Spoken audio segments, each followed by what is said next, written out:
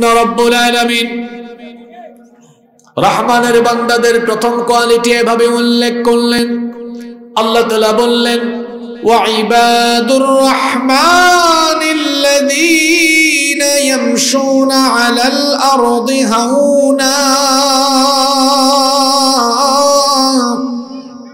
আল্লাহ তাআলা বলছেন রহমানের বান্দা হলো তারা দুনিয়ার বুকে নম্র ভাবে ভদ্র ভাবে বিচরণ করে যারা রহমানের বান্দারা অভদ্র হয় না, রহমানের বান্দারা বেয়াদব হয় না, রহমানের বান্দারা অহংকারীও হয় না। আমাদের সমাজে দেখবেন বহু মানুষের ভিতরে অহংকারী স্বভাব আছে। কত ধরনের অহংকার আমরা করি? জ্ঞানের অহংকার বংশের বড়াই, বংশের অহংকার টাকা পয়সার অহংকার, সম্পদের অহংকার, ক্ষমতার অহংকার এই রকম মনোভাবের মানুষ আমাদের সমাজে আছে না নাই? জ্ঞানের বড়াই করবেন না, জ্ঞানের অহংকার করবেন না, কারণ জ্ঞান তো আপনি নিজে নিজে অর্জন করেন নাই। জ্ঞান হলো আল্লাহর অন্যতম একটা নিয়ামত। এই জ্ঞানের নিয়ামত আপনাকে দিয়েছেন কি? জ্ঞান পেয়ে আপনি বড়াই করবেন না, কারণ যিনি জ্ঞান দিয়েছেন, তিনি আবার আপনার জ্ঞান কেড়ে নিয়ে আপনাকে পাগল বানিয়ে দিতে পারবেন কি পারবেন না? বংশের বড়াই করবেন না আপনার বংশের মান ইজ্জত ডুবিয়ে গোটা বংশকে বেজ্জত করে দিতে পারেন কে? টাকা পয়সার অহংকার করবেন না, কারণ সকাল বেলার ধনীকে বিকেল বেলার রাস্তার ফকির যিনি বানিয়ে দিতে পারেন তিনি কি? ক্ষমতা পেয়েও ক্ষমতার বড়াই করবেন না, কারণ যিনি ক্ষমতা দিয়েছেন তিনি আবার ক্ষমতা কেড়ে নিয়ে মানুষের জুতার বাড়িও খাওয়াতে পারেন কি পারেন না? তাহলে বোঝা গেল আল্লাহ দেন আবার আল্লাহ চাইলে কেড়ে নেন। এজন্য রহমানের বান্দারা কোনো কিছুর অহংকার করে না।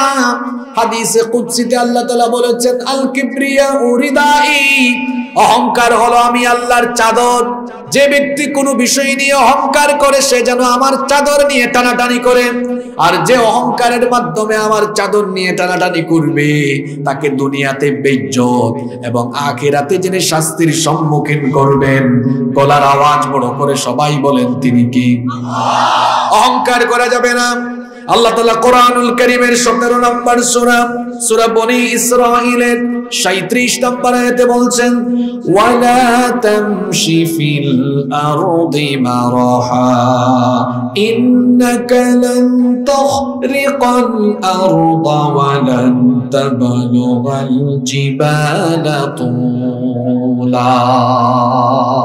আল্লাহ বললেন, অহংকারের সাথে জমিনে পদচারণা করো না। তুমি তো এই জমিনকে ফাটিয়ে দিতে পারবে না। অহংকারের সাথে জমিনের বুকে পা ফেলে তুমি তো জমিনকে ফাটিয়ে দিতে পারবে না। এমন কি অহংকার করে তুমি আল্লাহ বলছেন, ওয়ালান তাবলুগাল জিবালা তুলা। অহংকার করে তো তুমি পাহাড়ের উচ্চতায় পৌঁছে যেতে পারবে না। সেইদিনা লোকমান হাকিম তার ছেলেকে কিছু সুন্দর সুন্দর নসিহত করেছিলেন। সেখানে নসিহত করতে গিয়ে তার ছেলেকে তিনি বলেছিলেন, ওয়ালা তুসাইর খাদ্দাকা লিন্নাস। বাবারে অহংকার করে তুচ্ছ তাচ্ছিল্যের সাথে মানুষকে অবজ্ঞা করে কথা বলো না। আর অহংকার করো না, অহংকার করে জমিনে বিচরণ করো না।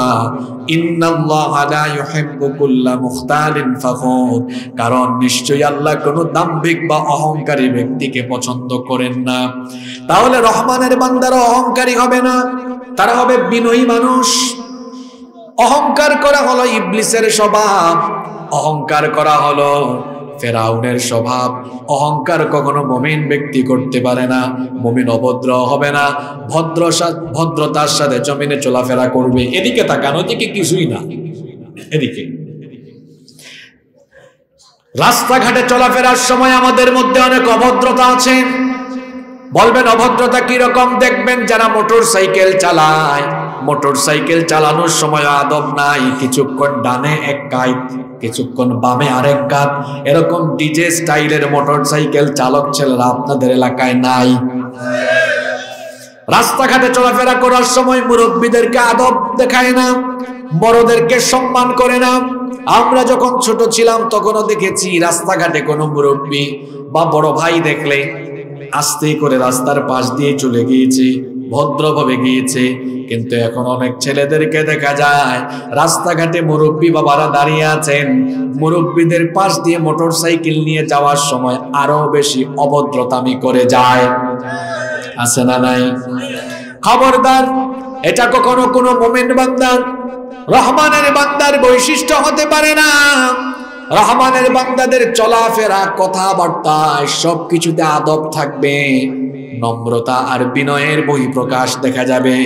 এজন্য আল্লাহ তালা এখানে বললেন, রহমানের বান্দাদের ফার্স্ট কোয়ালিটি হলো ওয়াইবাদুর রহমানিল্লাযীনা ইয়ামশুনা আলাল আরদি হাওনা রহমানের বান্দা হলো তারা। দুনিয়াতে নম্রভাবে, ভদ্রভাবে বিচরণ করে যারা। আর আপনি যখন বিনয়ী হবেন, ভদ্র হয়ে চলাফেরা করবেন, আপনি যখন মানুষকে সম্মান করবেন, সম্মান দিবেন, তখন আপনার সম্মান দুনিয়াতে যিনি বাড়িয়ে দিবেন, গলার আওয়াজ বড় করে সবাই বলেন তো তিনি কে? ওই পিছনে বসা কিছু লোকদের মনোযোগের ব্যাপক ব্যাঘাত আছে। এরা এসেছে হুজুরের চেহারা কেমন? হুজুরের কণ্ঠ কেমন? মাহফিলের লুক হলো কেমন? এগুলো দেখার জন্য। আপনি এই মাহফিলে কি শিখলেন? আমি একটু পরে কিন্তু প্রশ্ন করা আরম্ভ করব। তাহলে বলেন তো দেখি সবাই, রহমানের বান্দাদের প্রথম কোয়ালিটি হলো, রহমানের বান্দারা অভদ্র না অভদ্র? এই মাহফিলের ভদ্রতার একটা আদব আছে না? ক্লাসের ফার্স্ট বেঞ্চের ছেলেরা, তারা কি করে? টিচারের দিকে তাকিয়ে থাকে। মেধাবী ছেলেরা ক্লাসে গিয়ে ডানে বামে তাকায় না। মেধাবী ছেলেরা তার উস্তাজের দিকে, তার স্যারের দিকে, তার টিচারের দিকে তাকিয়ে থাকে। দেখি তো কখন কি বলে, তার ব্রেইনে সেটা ক্যাচ করার চেষ্টা করে এবং সেভাবেই সবকিছু বুঝে শুনে ক্লাস থেকে বের হওয়ার চেষ্টা করে। তো এটাও তো একটা ক্লাস। এটা কি একটা ক্লাস না? এটাও তো একটা ক্লাস। এখানে আমরা এসেছি কোরআন সন্ন্যার আলোকে কিছু কথা শুনব এবং হেদায়েতের পাথেও হিসাবে এই কথাগুলোকে আমরা বাড়ি নিয়ে যাব। আল্লাহ আমাদেরকে তৌফিক দেন। তাহলে রহমানের বান্দারা হবে ভদ্র, নম্র, তারা হবে বিনয়ী। আল্লাহ এই গুণ দিয়ে আমাদের সবাইকে গুণান্বিত করে দেন। বলেন আমিন। দুই নম্বর। দুই নম্বর এই গুণ আমাদের সমাজের বেশিরভাগ মানুষের ভিতরে নাই। রহমানের বান্দারা হয় অত্যন্ত ধৈর্যশীল এবং সহনশীল। তাদেরকে গালি দিলে তারা গালি দেয় না। তাদেরকে কষ্ট দিলে তারা কষ্ট দেয় না। তাদেরকে দুঃখ দিলে তারা দুঃখ দেয় না। এটা কি সোজা কথা? হ্যাঁ? আপনাকে গালি দিলে আপনাদের চিটাঙ্গের ভাষা তো আমি মোটামুটি বুঝি। এক লাইন দিলে দুই লাইন ফেরত দেয়। আমি কি ভুল বলেছি? এক লাইন দিলে ফিরত দেয় কয় লাইন? দুই লাইন। এটা রহমানের বান্দার বৈশিষ্ট্য। আপনাকে কানে কানে এসে বলেছে, জানো? অমুক তোমার নামে এই বলেছে। তখন আপনি বলেন, তারে শুধু রাস্তায় পায়, মজা বুঝাই দিব এটা কি রহমানের বান্দার বৈশিষ্ট্য? আমার নবী কেমন ছিলেন? আমার নবীর জীবনী থেকে সেটা বুঝার চেষ্টা করেন। আমার নবী রাস্তায় যে পথ ধরে হাঁটতেন কাফিররা সেই পথের মধ্যে কাটা বিছিয়ে রেখেছে। কিন্তু নবীজি কোনোদিন কোনো কাফিরকে গালি দেন নাই। আপনার রাস্তায় যদি কেউ কাটা ফেলে যায়, আপনি তার চোদ্দ গোষ্ঠী গালি দিয়ে উদ্ধার করে ফেলবেন। কিন্তু আমার নবীর চলার পথে কাফিররা কাটা দিয়েছে। কোনোদিন নবী কোনো কাফিরকে গালি দেন নাই।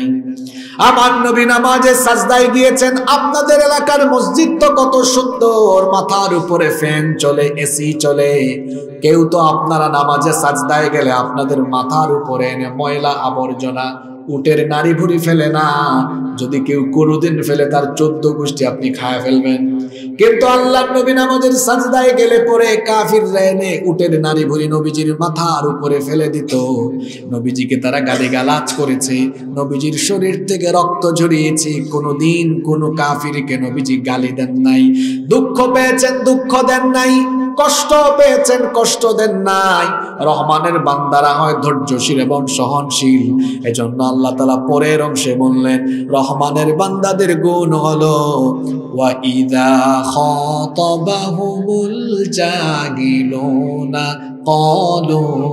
সালামা।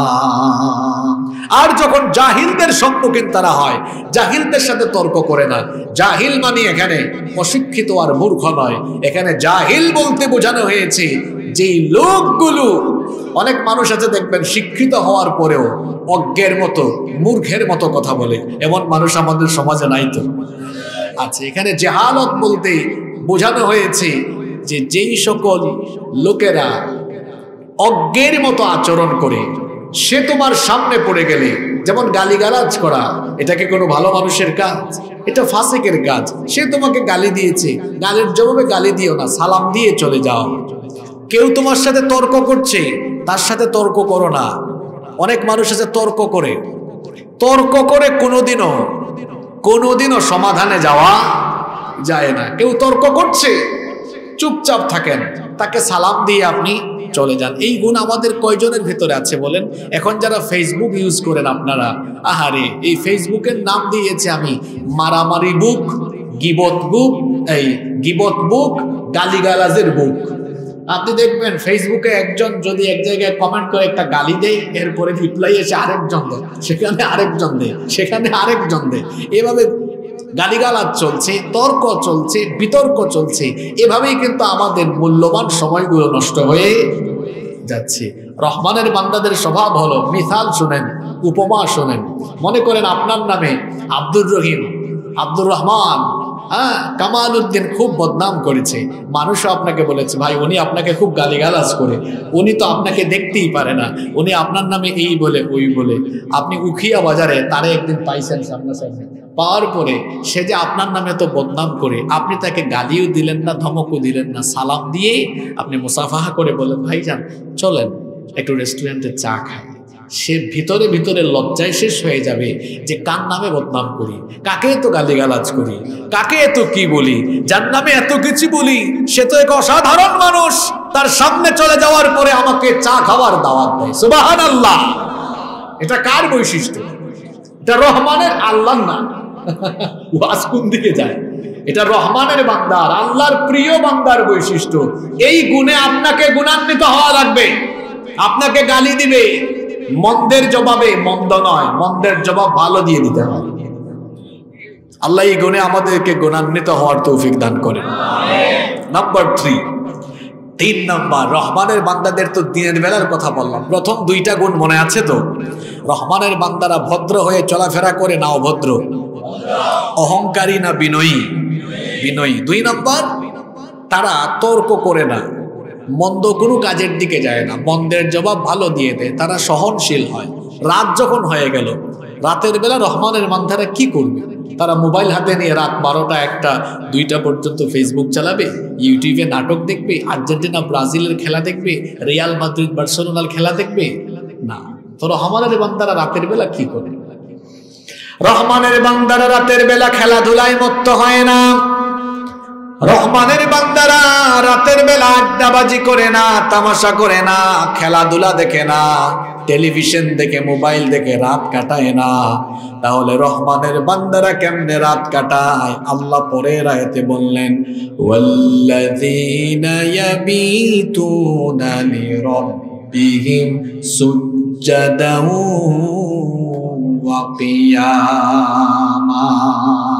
রহমানের বান্দা হলো তারা রাতের বেলায় নামাজে দাঁড়িয়ে তাহাজ্জুদের নামাজে দীর্ঘ সময় রুকু আর দীর্ঘ সময় আল্লাহর কুদরতি চরণে সাজদা দিয়ে রাত কাটায় যারা রহমানের বান্দা হলো তারা। আমরা ঘুমাতে ঘুমাতে আমাদের শরীর ফুলে যায়, গাল ফুলে যায় আর আল্লাহর হাবিব আমাদের প্রিয় নবী রহমাতাল্লিল আলামিন মুহাম্মাদুর রাসূলুল্লাহ, সকলে পড়েন সাল্লাল্লাহু আলাইহি ওয়াসাল্লাম। রাতের বেলা দীর্ঘ সময় দাঁড়াতে দাঁড়াতে পা ফুলে যায়। কথা কি বুঝতেছেন? আমরা ঘুমাতে ঘুমাতে কি ফুলে যায়? গাল ফুলে যায়, শরীর ফুলে যায়। আর আল্লাহর নবীর রাতের বেলা দীর্ঘ সময় নামাজের যায় নামাজে দাঁড়াতে দাঁড়াতে পা ফুলে যায়। আল্লাহ আকবার! এই কথা কে বলেছেন? না।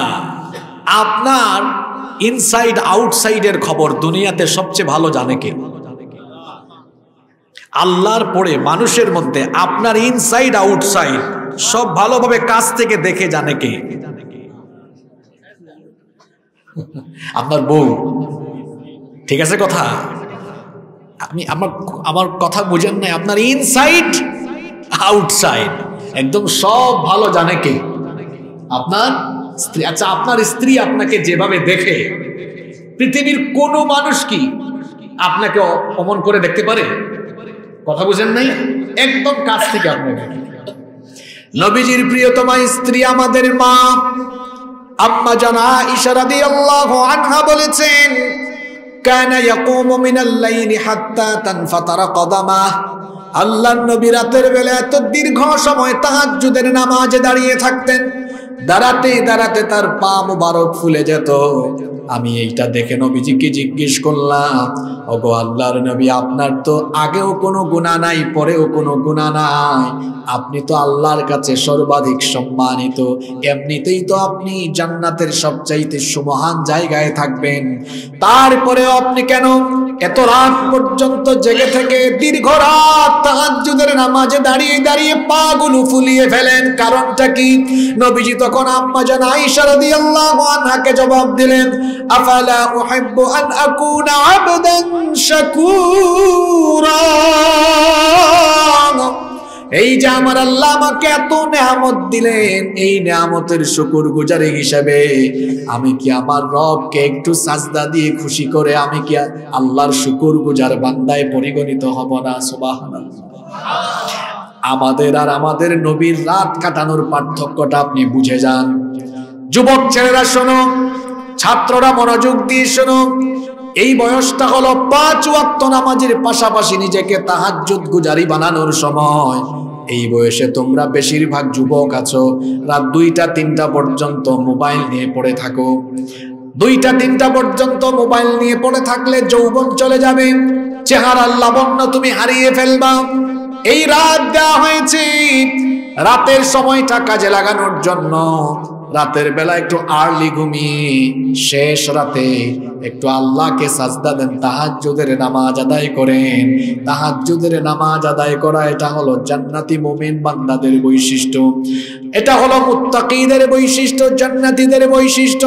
এজন্য আল্লাহ কোরআনুল কারীমের অন্য জায়গায় বলেছেন কোরআনুল কারীমের 32 নম্বর সূরা, সূরাতুস সাজদা এর 16 নম্বর আয়াতে আল্লাহ তাআলা বলেছেন, তাতাজাফা জুনুবুহুম আনিল মাদাজি'i ইয়াদউনা রাব্বাহুম খাওফান ওয়া তামাআ ওয়া মিম্মা রাযাকনাহুম আল্লাহ তালা বলছেন জান্নাতি মুত্তাকিদের বৈশিষ্ট্য হল রাতের বেলা বিছানা থেকে তাদের পিঠ আলাদা থাকে, ভয়ে এবং আশার সাথে আল্লাহকে তারা ডাকতে থাকে। আল্লাহ তালা বলছেন, আল্লাহর প্রিয় বান্দা, জান্নাতি বান্দারা রাতের বেলা খুব কম সময়ে ঘুমায়। এজন্য আল্লাহ সূরা যারিয়াতের 17 নম্বর আয়াত থেকে বলছেন, কানু কলিলাম মিনাল লাইলি মা ইয়াহজাউন। এরা রাতের বেলা খুব কম সময় ঘুমায়। ওয়াবিল আসহারি হুম ইস্তাগফিরুন ইস্তেগফার করে করে তারা রাত কাটায়। আল্লাহর কাছে ক্ষমা চাইতে চাইতে তারা রাত কাটিয়ে দেয়। শেষ রাতের এই সময়টা হলো অত্যন্ত গুরুত্বপূর্ণ সময়। ওই সময় আল্লাহ দুনিয়ার আসমানে এসে বান্দাকে ডাকেন, কে আছো আমাকে ডাকবা? কার গুনাহ আছে? গুনাহ মাফ দরকার? কার সন্তান লাগবে? কার কত চাওয়া আছে আমাকে নিবেদন করো বান্দারে। তুমি যদি এই গভীর রজনীতে আমাকে ডাকো, আমি ডাকের জবাব দিব। তুমি যা চাইবে চাওয়া পূরণ করব। ওই গভীর সময়টাতে আল্লাহর সাথে যদি আপনি প্রেম, ভালোবাসা নিবেদন করে, তাহার জুতের যায় না মাঝে দাঁড়াতে পারে, আপনার মনের চাওয়াগুলো যিনি পূরণ করে দিবেন, তিনি কে? রহমানের বান্দাদের তিন নাম্বার বৈশিষ্ট্য হলো, রাত তারা করে দেয় না। বরং রাতের একটা অংশ তারা তাহাজ্জুদের নামাজ আদায় করে কাটিয়ে দেয়। সামনে মুবারক মাস, রমাদন মাস আসতেছে। তাহাজ্জুদের প্র্যাকটিস এখন থেকে তৈরি করুন। আর রমাদনের সাহরির টাইমে আগে ভাগে উঠে যাবেন। অন্তত আধা ঘণ্টা, এক ঘণ্টা আগে উঠে তাহাজ্জুদের নামাজ আল্লাহকে সাজদা দিবেন। আর এই প্র্যাকটিসটা বাকি মাসগুলোতেও সারা বছর ধরে রাখার চেষ্টা করবেন। যারা এই পৃথিবীতে সম্মানিত হয়েছেন, আল্লাহর নৈকট্যশীল, আল্লাহর প্রিয় ভাজন হয়েছেন, তাদের প্রত্যেকের সিক্রেট আমল হলো এই তাহাজ্জুদের নামাজ। রাতের বেলা আল্লাহকে সাজদা দেন, আপনার মর্যাদা আকাশচম্বী করে দিবেন, আখিরাতে আপনাকে নাজাত যিনি দিয়ে দিবেন। জুড়ে বলেন তো তিনি কে?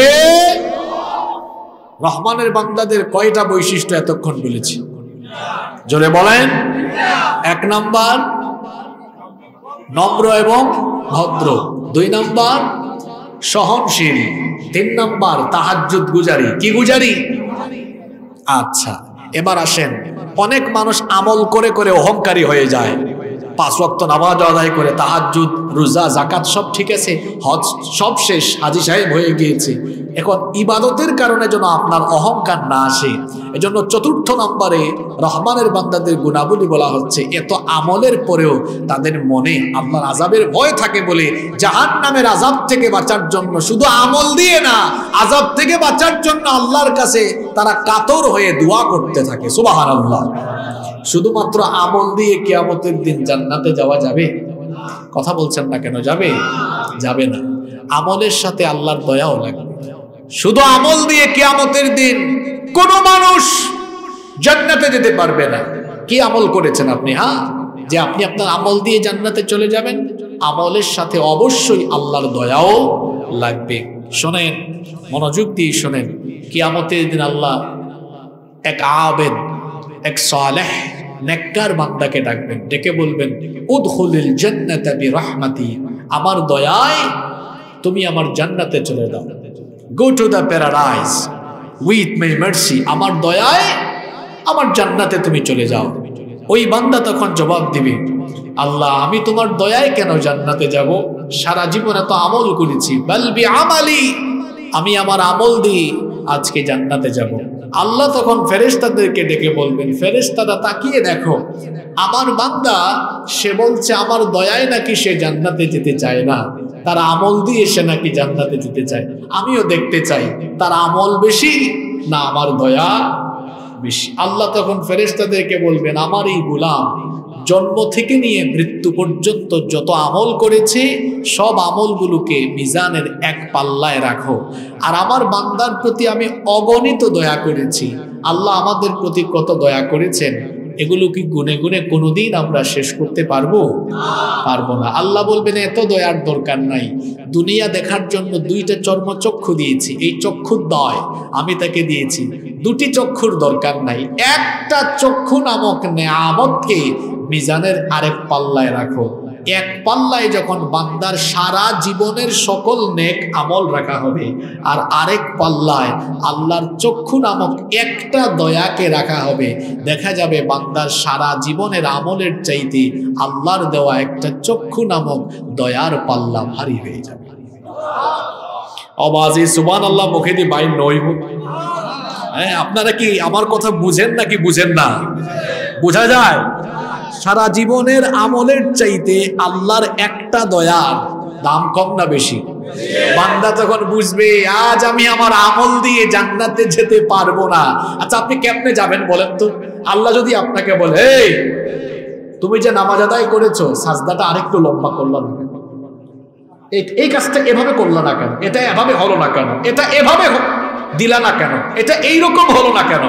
যদি আল্লাহ প্রত্যেকটা জায়গায় আপনাকে প্রশ্ন করা আরম্ভ করেন, আপনি বাঁচতে পারবেন? একটা উদাহরণ দিই, বুঝবেন? মনে করেন আমার ভাইজানের এই এলাকায় একটা দোকান আছে। আমার বাড়ি সিলেটে, তিনি সিলেটে ঘুরতে গেলেন। সিলেট অনেক সুন্দর জায়গা, তাই না? সিলেটে ঘুরতে গেলেন। তো তিনি তার দোকানের কর্মচারীকে বললেন, এই, আমি সিলেট যাচ্ছি, তোমাকে দায়িত্ব দিয়ে গেলাম, তিন দিন পরে আসব। তুমি ব্যবসা, বাণিজ্য সব দেখাশোনা করে রাখিও। তিনি চলে গেলেন। তিন দিন পর ফিরে আসলেন। আসার পরে কর্মচারীকে বললেন, আসো, দেখি তিন দিন কি করেছ। এখন সে হিসাব দিচ্ছে। শুনতেছেন তো আপনারা, সে হিসাব দিচ্ছে, এই যে স্যার দেখেন, গত তিন দিন এই এই খাত থেকে এত টাকা আয় হয়েছে, এই এই বাবদ এত টাকা ব্যয় হয়েছে। তিনি মনে করলেন, এত বছর ধরে এই ছেলে আমার আন্ডারে কাজ করে, এই ছেলেটা কোনো ধরনের দুই নাম্বারে করবে না। এই বিশ্বাসে তিনি এটা দেখলেন যাচাই বাচাই না করে পকেটে ঢোকালেন। আচ্ছা ঠিক আছে ইটস ওকে যাও। এটা হলো হিসাব গ্রহণের একটা সিস্টেম আরেকটা সিস্টেম হলো এই ছেলেটা হিসাব দিচ্ছে আর তিনি তাকে ধরলেন, এই, এদিকে আসো। তুমি এই খাতে এত টাকা খরচ করেছ কেন? এই কাজটা এভাবে করলা কেন? এটা এভাবে হলো না কেন? এখন যদি তাকে জায়গায় জায়গায় জায়গায় জায়গায় তিনি প্রশ্ন করা আরম্ভ করেন, তাহলে ছেলেটার জন্য হিসাব দেওয়া সহজ হবে না কঠিন হবে? তাইলে হিসাব গ্রহণের, হিসাব দেওয়ার আগের সিস্টেমটা সহজ না পরের সিস্টেমটা সহজ? হ্যাঁ? আগের সিস্টেমটা সহজ। তিনি হিসাবের খাতা দেখেছেন, যাচাই বাচাই করেন নাই। আল্লাহ নবী বলেছেন, কিয়ামতের দিন প্রত্যেক মানুষের হাতে হাতে আল্লাহ আমল নামা দিবেন। কিন্তু আল্লাহ যে ব্যক্তির উপরে দয়া করতে চান, হাসরের মাঠে আল্লাহ ওই ব্যক্তির হাতে থাকা আমল নামা দেখবেন, যাচাই বাচাই করবেন না। আল্লাহর দয়া থাকলে আল্লাহ বলবেন, যা আমি আমি এটা দেখেছি যাচাই বাচাই করি নাই। তোর উপর আমার দয়া আছে, আমার জান্নাতে চলে যান সুবহানাল্লাহ। নবীজির হাদিস যার কাছ থেকে আল্লাহ হিসাব আরম্ভ করবেন, যত বড় বুজুর্গ হোক, ও আটকে যাবে, ও জাহান নামে যাওয়া লাগবে। এজন্য নবীজি পয়গাম্বর হয়ে দোয়া করেছেন, আল্লাহুম্মা হাসিবনি হিসাবাই ইয়াসিরা আল্লাহ আমার কাছ থেকে হিসাব আপনি সহজ করে নিন। বলেন আমিন। কোথায় ছিলাম মনে আছে? রহমানের বান্দাদের চার নম্বর গুণ, ইবাদত গুজারি হয়ে অহংকারী হয় না, এত ইবাদত করছে। তারপরে অন্তরে জাহান নামের ভয় এই জন্য জাহান নাম থেকে বাঁচতে আল্লাহর কাছে দোয়া করছে। তারা দোয়া করে রহমানের বান্দাদের দোয়াটা কেমন হয়? আল্লাহ পরের আয়াতে তুলে দিলেন, যারা পারেন আমার সঙ্গে পড়েন, ওয়াল্লাযীনা ইয়াকুলুনা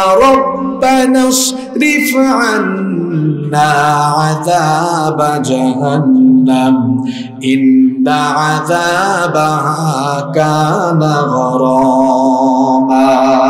إنها ساءت مستقرا ومقاما আল্লাহ বলছেন, রহমানের বান্দা হলো তারা।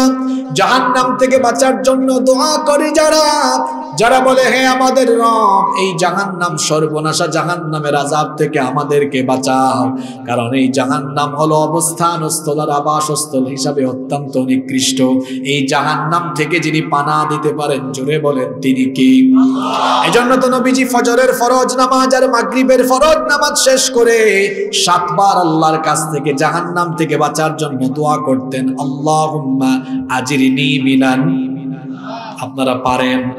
তো আমার সঙ্গে পড়েন তো, আল্লাহুম্মা আজিরিনি মিনান আল্লাহুম্মা আজিরিনি মিনান নার। আল্লাহুম্মা আজিরিনি মিনান নার। কয়বার পড়বেন? অর্থ হলো, হে আল্লাহ, আপনি আমাদেরকে জাহান্নামের আযাব থেকে বাঁচান। বলেন, আমিন।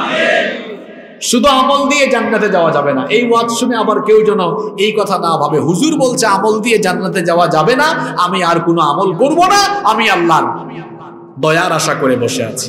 আল্লাহর দয়া পাবে তারা আমলদার যারা, বেআমল যারা, এরা কোনোদিনও আল্লাহর দয়া পাবে এটা একটা উদাহরণ দিই। মনে করেন, আপনার দুইজন কর্মচারী আছে, একজন খুব খাটে, খুব কাজ করে, আর আরেকজন খুব একটা কাজ টাজ করে না। আপনি বলেন তো, আপনার দয়া যে কাজ করে তার উপরে বেশি থাকবে না যে একদম করে না, তার উপরে থাকবে? জোরে বলেন। আপনি আজান হলে নামাজেই যান না। আপনি সুদ খান, ঘুষ খান, আলগা পয়সা খান, মানুষের হক মাইরা খান, আপনার উপর আল্লাহর দয়া থাকবে নাকি যে সৎপথে চলে আমলদার তার উপরে থাকবে? হ্যাঁ তাহলে বোঝা গেল যে ব্যক্তি আমলদার, যার আমল ঠিক আছে আল্লাহর প্রতি যার আনুগত্য আছে, তার উপরে কিয়ামতের দিন আল্লাহর বিশেষ দয়া থাকবে। কার উপরে থাকবে? ওয়াকানা বিল মুমিনিনা রাহিমা। কোরআনের এক আয়াতের তফসির আপনি অন্য আয়াতে পেয়ে যাবেন। আল্লাহ বলছেন, মুমিনদের উপরে আল্লাহর দয়া থাকবে। মুমিনদের প্রতি তিনি রহম হবেন, মেহেরবান হবেন পড়েন। সুবহানাল্লাহ। কয়টা গুণ বলেছি? বারোটা মুখস্থ করতে পারবেন তো? পরে দেখা যাবে। নাম্বার ফাইভ পাঁচ নম্বর রহমানের বান্দারা কিপটা হয় না কৃপন হয় না। আবার তারা অপব্যয়কারীও হয় না। আমাদের সমাজে কিছু মানুষ আছে, দেখবেন, যাদেরকে আল্লাহ টাকা, পয়সা, সম্পদ দিয়েছেন, কিন্তু তারপরেও দেখবেন, আল্লাহর সাথে নাফরমানের বই প্রকাশ করে কিপটামি করে, টাকা আছে, খরচ করে না, টাকা আছে, ভালো পোশাক পরে না, টাকা আছে, তারপরেও দেখবেন, ভালো খাবার খায় না। এরকম কিপটা আমাদের সমাজে কম বেশ আছে না নাই? মনে রাখবেন মনে রাখবেন কিপটামি করে আপনি যদি শরীরের হক নষ্ট করে সম্পদ জমায় রাখেন, তো শেষ বয়সে এই জমানো সম্পদ শরীরের জন্য খরচ করতে হবে। কথা বুঝেন নাই? অবাজে। কথা বুঝেন তো আপনারা? কিপটামি করে আপনি যে সম্পদ জমায় রাখবেন, শেষ বয়সে বিভিন্ন রোগবালাই যখন শরীরে দেখা দিবে, ওই জমানো সম্পদ আবার শরীরের পিছনেই খরচ করা লাগবে। আমও নাই ছাড়াও কিছু মানুষ আছে দেখবেন টাকা আছে, ছেঁড়া জামা গায়ে দেয়। টাকা আছে, তাও দেখবেন কখনো পুষ্টিকর খাবার কিনে খায় না। খবরদার কৃপণতা এটা কখনো আল্লাহর প্রিয় বান্দার বৈশিষ্ট্য নয়। আবার দেখবেন এমন কিছু মানুষ আছে, টাকা পয়সা আছে বলে নষ্টামির পথে, অশ্লীল পথে খরচ করে টাকা থাকলে যেভাবে আপনি কিপটামি করতে পারবেন না, তেমনি টাকা পয়সা থাকলে আপনি আবার সেগুলো খারাপ পথেও খরচ করতে পারবেন না। কারণ আপনাকে এই টাকা পয়সা সম্পদ যিনি দিয়েছেন, তিনি কি? এই জন্য খরচ করতে হবে কার পথে? তাহলে রহমানের বান্দারা কৃপণ হয় না, আবার খারাপ পথে পয়সা খরচ করে না। এরা তাহলে কেমন জীবন যাপন করে, মধ্যম পন্থা অবলম্বন করে? টাকা, পয়সা, সম্পদ আল্লাহ যেগুলো দিয়েছেন, তার নিজের প্রয়োজনে সেগুলো খরচ করে, আর বাকিগুলো যার পথে খরচ করে, তিনি কি? কারণ সম্পদগুলো দিলেন কি? আমাকে আল্লাহ যেগুলো দিলেন, আমার নিজের প্রয়োজন পূরণের পরে আমি আবার সেই আল্লাহর পথে যদি আমার বাকি পয়সাগুলো, বাকি সম্পদ খরচ করতে থাকি। আমার উপরে খুশি হয়ে আমার সম্পদের মধ্যে আরও বেশি বরকত যিনি বাড়িয়ে দিবেন, তিনি কি? এজন্য আল্লাহ রহমানের বান্দাদের বৈশিষ্ট্য তুলে ধরছেন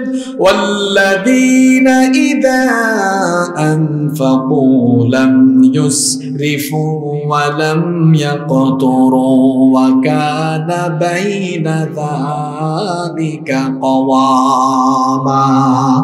আর রহমানের বান্দা হলো তারা, যারা কৃপণতা অবলম্বন করে না, অপব্যয় করে না। ওয়াকানা বাইনা দালিকা কওয়ামা, বরং মধ্যম পন্থা অবলম্বন করে।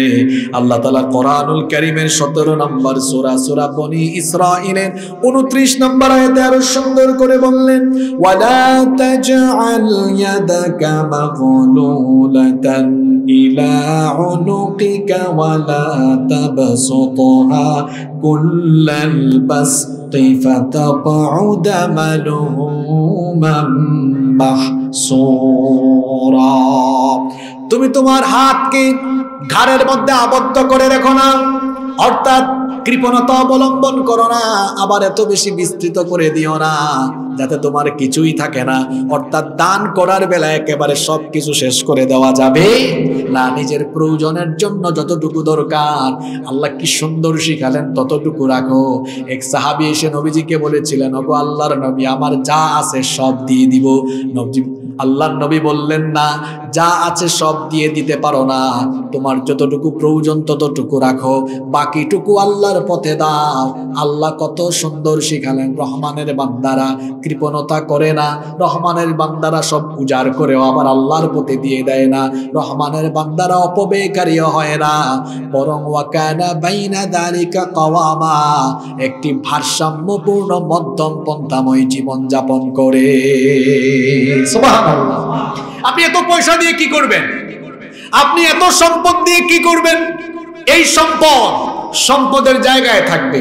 আপনি থাকবেন যে টাকা পয়সা, যে সম্পদ আছে, নিজের প্রয়োজনের জন্য যতটুকু পারেন, ততটুকু রেখে বাকিটুকু আল্লাহর পথে আপনি বিলীন করে দিয়ে যান। ওলামা মাসায়েকদের জীবনী আপনারা দেখবেন। আপনারা দেখবেন এদেশের যত ওলামায়ে কেরাম আছেন, প্রত্যেক ওলামায়ে কেরাম নিজের প্রয়োজনটুকু রেখে প্রত্যেকেই তারা তাদের যতটুকু আছে সবকিছু উন্মতের জন্য উজাড় করে দিয়েছেন। আপনি দূর থেকে কোনো কোনো ব্যক্তিকে যাচাই করতে পারবেন না। আপনি তার কাছে গিয়ে দেখেন, সে উন্মতের জন্য কি করছে। সে উন্মার জন্য কি করে যাচ্ছে। আমি তো এমন বহু আলেমকে দেখেছি, তার সম্পদগুলো মাদ্রাসার জন্য, মসজিদের জন্য, উম্মতের কল্যাণে অকাতরে বিলীন করে দিয়েছে। আল্লাহু আপনার সাথে টাকা যাবে না তো, পয়সা যাবে না। আপনার এলাকার কবরস্থানে আপনি যান না, একটু ভিজিট করে দেখেন। কত পয়সাওয়ালা, গাড়িওয়ালা, বাড়িওয়ালা গাড়ি বাড়ি সব রেখে দিয়েছে দুনিয়ায়। এত দামি দামি ব্র্যান্ডের পাঞ্জাবি, দামি দামি ব্র্যান্ডের জুতাই ইউজ করত। সব দুনিয়াতে রেখে সাদা কাফন গায়ে দিয়ে কবরে গিয়েছে। ঠিক কিনা? রহমানের বান্দারা কৃপণতা করে না, অপব্যয় করে না, আবার ধন সম্পদ জমায় রাখে না, বরং প্রয়োজনটুকু রেখে বাকিটুকু আল্লাহর পথে অকাতরে খরচ করে মধ্যম পন্থা অবলম্বন করে। সুবহান আল্লাহ পড়ে আল্লাহ এই গুণে আমাদেরকে গুণান্বিত করে দাও। বলে না আমিন। পাঁচটা বলে ফেলেছি। মনে আছে তো? একটু পর সবক হবে। নাম্বার সিক্স, ছয় নাম্বার, রহমানের বান্দারা কখনোই আল্লাহর সাথে শির করে না। কারণ আমাদের মাবুদ কয়জন জোরে বলেন তো আরো জোরে বলেন ইবাদত হবে কার চাইতে হবে কার কাছে চাইতে হবে আল্লাহর কাছে ডাকতে হবে আল্লাহকে তার সাথে শির করা যাবে না এজন্য আল্লাহ রহমানের বান্দাদের বৈশিষ্ট্য বললেন والذين لا يدعون مع الله إلها آخر রহমানের বান্দা হলো তারা। আল্লাহর সাথে অন্য কাউকে ডাকে না যারা। আমার দেশে কত মানুষ আছে, আল্লাহর সাথে অথবা আল্লাহকে বাদ দিয়ে অন্যদেরকে ডাকে। এ আপনাদের চট্টগ্রামের এক ভণ্ডকে দেখলাম, টুপি লাগায়া জুব্বা পরে আবার লম্বা দাঁড়িয়েও আছে, নিজেই নিজেকে হুজুরও বলে জাঙ্গির হুজুর। দেখলাম ভান্ডারি বাবার কবরের সামনে গিয়া বলতেছে, বাবা, এরা এসএসসি পরীক্ষা দিবে, এদেরকে কামিয়াবি নসিব করে দেন না, হুজুবিল্লাহ। বলেন তো, চাইতে হয় কার কাছে? চাইতে হয় আল্লাহর কাছে। আল্লাহ ছাড়া অন্য কারও কাছে চাওয়া যায় না। আল্লাহ যেটা দিতে পারে, বান্দা সেটা দিতে পারে। আল্লাহ যেটা দিতে পারে বান্দা সেটা দিতে পারে না। এজন্য সূরা ফাতিহার মধ্যে আমরা বলি ইয়াকা নাবুদু ওয়া ইয়াকা নাস্তাইন ও বাজি, এই আয়াত পারেন না আপনারা? কোরআন তেলাওয়াত করলে সওয়াব না গুনাহ। কেউ চুপ থাকবেন না, এই আয়াত আমার সঙ্গে জবান খুলে পড়েন। নাবুদু ওয়া ইয়াকা নাস্তাইন আমরা একমাত্র তোমার ইবাদত করি আবার তোমার কাছেই সাহায্য চাই। সন্তান দেওয়ার মালিক কে? নাকি কোনো জীবিত বা মৃত বাবা দিতে পারবে? চাকরি বাকরিতে বরকত দেওয়ার মালিক কে? ইজ্জত সম্মানের মালিক কে? পরীক্ষায় পাশ করিয়ে দিতে পারবে কে? আপনার সকল প্রয়োজন পূরণ করে দিতে পারবেন কে আল্লাহর সাথে শির করা যাবে না। আল্লাহর সাথে শির করা হচ্ছে সবচেয়ে বড় কবিরা গুনাহ। যারা আল্লাহর সাথে শির করা অবস্থায় দুনিয়া থেকে মারা যায়, আল্লাহ কোরআনে বলেছেন নার। ফাকাদ আলাইহিল জান্নাতা ওয়া মাওয়াহুন নার। আল্লাহ এদের জন্য জান্নাত হারাম করে দিয়েছেন। জাহান্নামকে তাদের আবাসস্থল বানিয়েছেন। এজন্য খবরদার আল্লাহর সাথে কখনো শির করা যাবে? এ ব্যাপারে কোনো আপোষ চলবে? তাহলে রহমানের বান্দাদের ছয় নম্বর বৈশিষ্ট্য হলো, তারা আল্লাহর সাথে কাউকে শরিক করে না। নাম্বার সেভেন সাত নাম্বার, রহমানের বান্দা হলো তারা অন্যায় ভাবে কোন মানুষ হত্যা করে না যারা। আল্লাহ তালা বলছেন ওয়ালা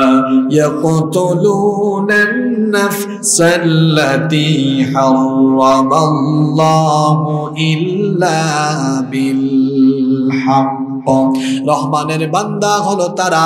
অন্যায়ভাবে প্রাণ হত্যা, অন্যায়ভাবে কোনো মানুষকে হত্যা করে না যারা। অন্যায়ভাবে মানুষের উপর জুলুম করা, মানুষের রক্ত ঝরানো, মানুষের রক্ত জড়িয়ে খুন করে ফেলার নজির এখন বোধহয় দুনিয়ায় নাই। নিরপরাধ মানুষকে অপরাধী বানিয়ে, নিরপরাধী মানুষকে অপরাধী বানিয়ে মেরে ফেলা, এগুলো বর্তমান সমাজে আছে। নিরপরাধী মানুষ। তাকে অপরাধী সাজা, অপরাধী বানিয়ে সাজা দিয়ে মেরে ফেলা। এই বিচারটা হয়তো দুনিয়াতে হলো না। নিরপরাধীকে অপরাধী বানায়া মেরে ফেলল। বিচারটা দুনিয়াতে হয় নাই তো কি হয়েছে? এই বিচারটা আখেরাতে যিনি করবেন তিনি কি? আসতে বলবেন না জুড়ে বলেন তিনি কি? কিয়ামতের দিন দুই ধরনের বিচার হবে। একটা হলো আল্লাহর হক, আরেকটা হলো বান্দার হক, কিয়ামতের মাঠে হাসরের মাঠে সকল মানুষের দুই ধরনের বিচার হবে। একটা হলো আল্লাহর হক আর একটা হলো বান্দার হক, হাক্কুল্লাহ। আর হাক্কুল্লাইবাদ ইবাদ, আল্লাহর হক কি? নামাজ, রোজা হজ সহ আরও যত মৌলিক ইবাদত যেগুলো আমরা কেবল আল্লাহর জন্য করি, যেগুলো আল্লাহর সাথে সংশ্লিষ্ট, আল্লাহর হকের বিচার আল্লাহ করবেন। আপনি নামাজ আদায় করেন নাই, আল্লাহর ইচ্ছা, আল্লাহ যদি কাউকে মাফ করে দেন, আমার কোনো আপত্তি আল্লাহ কাউকে শাস্তি দিলেও আমাদের কারও কোনো কিছু যায় আসে কিন্তু বান্দার হক, এটা আল্লাহ মাফ করবেন না। যতক্ষণ না বান্দা তাকে মাফ করে, অথবা বান্দার হক বান্দাকে কেউ যদি ফিরাইয়া না দেয়, আল্লাহ তাকে ততক্ষণ মাফ করবেন। একটা হাদিস আমার মনে পড়ে গেল, হাদিসটা কি বলব? নবীজি সাহাবিদেরকে বললেন, শোনেন, ওয়াজ ওয়াজ তো শোনা যান, দিনের বেলা মানুষের হক মাইরা খান। কি এর ওয়াজ শোনেন আপনি? ভালো করে কথাগুলো শুনেন। নবীজি সাহাবিদেরকে জিজ্ঞেস করলেন, আতাদরুন আমাল মুফলিস? আমার সাহাবিরা, তোমরা কি জানো নাকি আমার উম্মতের সবচাইতে অসহায় ব্যক্তিকে সাহাবিরা তখন বললেন, ইন্নাল মুফলিসা ফিনা মাল্লা দিরহাম লাহু ওয়ালা মাতা। আমাদের মধ্যে সবচাইতে অসহায় ওই ব্যক্তি, যার দিরহাম নাই, ফুলুস নাই টাকা পয়সা নাই ঘর বাড়ি সহায় সম্পদ নাই, সে অসহায়। আপনাদেরকেও জিজ্ঞেস করলে হয়তো আপনারা একই রকম উত্তর দিতেন যে সবচেয়ে অসহায় তো আসলে ওই ব্যক্তি যার ফুলুস নাই দেড়হাম নাই, টাকা নাই, পয়সা নাই, ধন নাই, বাড়ি নাই। সে হলো অসহায়। নবীজি উত্তর শুনে সাহাবিদেরকে বললেন, উত্তর ঠিক হয় নাই। সাহাবিরা বললেন, তাহলে আমাদের উম্মতের সবচেয়ে অসহায় কে? নবীজি বললেন, সবচেয়ে অসহায় হলো এই ব্যক্তি। কিয়ামতের দিন প্রত্যেকের হাতে যখন আমল নামা দেওয়া হবে, কিছু মানুষ থাকবে যাদের আমলের খাতা পুরাটাই নেকি দিয়ে ভরপুর। জোরে বলেন তো, কি দিয়ে ভরপুর? বিশাল নেকি নিয়ে হাসরের মাঠে উঠার পরেও তাদের নেকিগুলো একেবারে বরবাদ হয়ে গিয়ে নেকি শূন্য হয়ে যাবে যারা আমার উম্মতের সব চাইতে অসহায় হলো। সাহাবিরা তো অবাক। এটা কি করে সম্ভব? হাউ ইজ ইট পসিবল একজন মানুষ এত নেকি নিয়ে উঠে, তারপরে নেকি থাকে না, কোথায় চলে যায়? আমার দিকে তাকান। আমার হাতে একটা লিফলেট আছে, দেখতেছেন আপনারা? এই লিফলেটের এই পেজে লেখা আছে না নাই? জোরে বলেন, আছে? এই পেজে কিছু আছে? এটা মিথাল উপমা দিচ্ছে আর কি। এক ব্যক্তি এই রকম পুরা আমল নামা শুধু নেকি লেখা আছে। সে নেকি নিয়ে উঠেছে, নবীজি বলছেন, মুহূর্তেই সব নেকি নষ্ট হয়ে, বরবাদ হয়ে এই রকম এখন কিছু আছে? ব্লান কিচ্ছু? সাহাবিরা বল, এটা কীভাবে সম্ভব? নবীজি বললেন, এটা সম্ভব এই কারণে, এটা তো আল্লাহর হক সব আদায় করেছে, এখানে লিখা আছে। তাকে আমলের খাতা দেখে ফেরেস্তারা বলবে, আরে বাপ রে বাপ, কি ভালো আমল। নাও নাও, জান্নাতের আল্লাহ বলবে দাঁড়া। তাকে আমার আদালতের কাঠ গড়ায় দাঁড় করে। ডেকে আনো ওই ব্যক্তিকে যাকে দুনিয়াতে ক্ষমতা পেয়ে সে রক্ত ঝরিয়েছে। মিথ্যা মামলা দিয়েছে। ডেকে আনো ওই ব্যক্তিকে যার জায়গা জমি সে দখল করেছে। ডেকে আনো ওই ব্যক্তিকে যার দোকানপাট সে লুটপাট করেছে। ডেকে আনো তাদেরকে যাদের কাছ থেকে চাঁদাবাজি করেছে। এবার একদিকে ওই ব্যক্তি যার হাতে আমলের খাতা, নেকি আর? আর অন্যদিকে পাওনাদারদের লাইন যাদের হক মাইরা খাইছে। বিরাট লম্বা লাইন। কথার কথা, মনে করেন এই যে বাম পাশে যারা বসছেন, এরকম লাইন। আল্লাহ বলবেন, কি ব্যাপার? এই যে তোমাদের হক নষ্ট করল। এখন আজকে তো দুনিয়াতে তোমরা তার বিচার করতে পারো নাই। তার অনেক হেড অফ ছিল। আজকে সুযোগ পাইছো, আজকে আমি আল্লাহ বিচারক। বলো তোমরা বদলা কি চাও? আচ্ছা দুনিয়ায় না হয় বিচারাচার হলে? বিভিন্ন সময় বিচার হয় না? আপোষ, মীমাংসা। তখন না কয় ক্ষতিপূরণ হিসাবে মানুষ টাকা দেয়। কিন্তু কিয়ামতের দিনকে ক্ষতিপূরণ হিসাবে টাকা কোনো কাজে লাগবে? সেদিন মাল, সম্পদ সন্তান সন্ততি কোনো উপকারে আসবে? লাগবে সেদিন কি? বাঁচার জন্য কি লাগবে? নেকি? জো- জোরে বলেন, কি লাগবে? আল্লাহ বলবেন, বলো তো এর কাছে কি চাও? এরা তখন বলবে, আল্লাহ, তার হাতে দেখি আমল নামায় নেকি আর নেকি। আমাদের যা ক্ষতি করছে করছে। এখন ক্ষতির বদলা হিসাবে তার থেকে কিছু নেকি আমাদের দিকে ট্রান্সফার করেন। আল্লাহ বললেন, তাই? ওকে, তাই হবে। এবার তার নেকি থেকে এদেরকে ক্ষতিপূরণ হিসাবে নেকি দেওয়া আরম্ভ হবে। দিতে দিতে দেখা যাবে তার আমলের খাতা জিরো কিন্তু পাওনাদারের লাইন ধরেন না এই পুরা লাইন থেকে তিন চার জন দিছে, তারপরে বাকিরা এখনও? এদের পাওনা কে চুকাবে? কে মিটাবে? আল্লাহ নবী বলেছেন, আমার উম্মতের সবচেয়ে অসহায় ওই ব্যক্তি বিরাট আমলের খাতা। আরে হাজি সাহেব, হজের সোয়াব লেখা। ওমরা করেছে ওমরার সব, জাকাত দিয়েছে জাকাতের সব, নামাজ আদায় করেছে নামাজের সব, নামাজ আদায় করেছে হজ, জাকাত, উমরা। এত কষ্ট করে সে আদায় করল, কিন্তু নেকিগুলো তার থাকবে না, চলে যাবে পাওনাদারদের কাছে, তাও সব পাওনাদার পাবে না, কত পাওনাদার বাকি? ওইদিকে তার নেকি শূন্য হয়ে, কিয়ামতের দিন অসহায়ের মতো জাহান নামে যাবে যে, নবীজি বলেছেন, আমার উন্মতের সবচাইতে অসহায় হলো সে। কথা কি বোঝা যায়? কি বুঝলেন? মানুষের হক মাইরা খাবেন? মানুষের হক নষ্ট করবেন? আল্লাহর হক নষ্ট করলে তো মাপ পাওয়া সহজ। কত সহজ জানেন? বেশি কিছু লাগবে না তো। দুই ফুটা চোখের পানি লাগবে।